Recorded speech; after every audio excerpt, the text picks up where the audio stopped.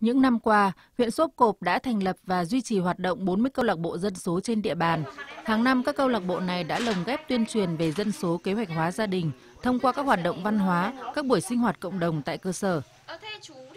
Chúng tôi đã um, làm tốt cái uh, uh, triển khai các mô hình ở các bản, ở các xã như là xã biên giới, xã vùng sâu vùng xa về cái uh, về về về cái tuyên truyền cũng như là cái ờ, lồng ghép chăm sóc sức khỏe ờ, dân số kế hoạch hóa gia đình cho các đối tượng.